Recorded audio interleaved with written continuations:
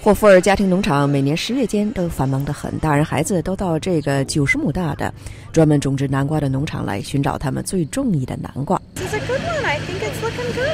几年来，科斯格鲁夫还有他的丈夫和两个孩子，每年呢都要到这儿走一趟。这儿的风景真好，通常可以从藤子直接摘下南瓜，回家以后磕出个样子来。霍夫尔一家经营这个位于马里兰州。科多科顿山区附近已经有一百四十多年的历史的农场，大卫霍弗尔还有他的兄弟是农场的第七代主人，家里其他人也一同帮着经营。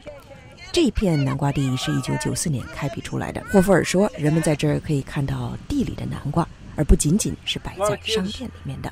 很多孩子都不知道南瓜是怎么长的，来这儿他们可以一边玩一边学一些知识。其他一些好玩的还包括骑马。是冰激凌。克莱恩是霍弗尔的一位朋友，他的这架卖冰激凌的车是跟1918年的一个燃气发动机连起来的。那个时候，农人用这个发动机来为玉米去除外壳，或者是帮着抽井水。霍弗尔说，来这儿的大人小孩也都很喜欢坐在农场的车上。有些人来这儿是为了坐车兜一圈，整个下午就坐车兜圈，很开心。我们当然呢也不介意。看着他的儿孙们兴高采烈的采摘南瓜，威尔克森心里呢也充满了喜悦。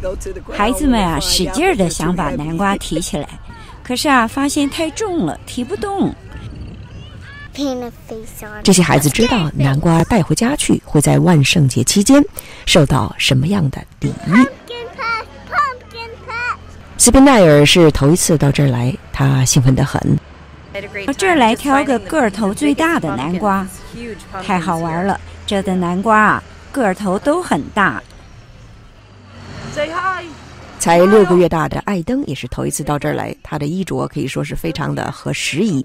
我们就想出来看一看，开开心，跟儿子一块儿到外边开开心，也可以说是啊，重度我们小时候度过的时光。大人孩子这会儿都把采摘下的南瓜带回城里。给他们画上不同的脸谱，雕刻成不同的样子，或者呢，就按原样放在那里。